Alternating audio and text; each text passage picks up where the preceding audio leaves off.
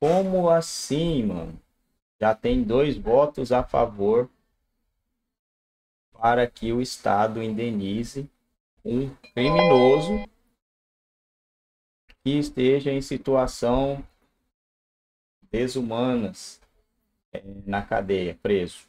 O que é uma situação desumana? Porque ali é um ambiente para presidiários, criminosos, pessoas que desapropriaram famílias, causaram danos a famílias, eles causaram danos a pessoas. Como que esse cara vai ser indenizado? Pera aí, ele vai lá, comete um crime, às vezes mata a pessoa por causa de um celular para tomar uma cervejinha.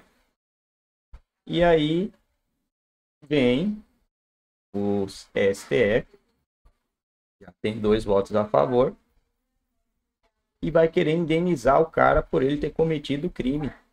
O que é isso? É um incentivo.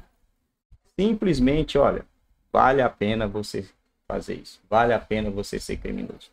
Não tem outra outra palavra, gente. Não dá dá, dá vontade de falar algumas coisas aqui, mas não dá para engolir isso aí. Sinceramente. Indenizar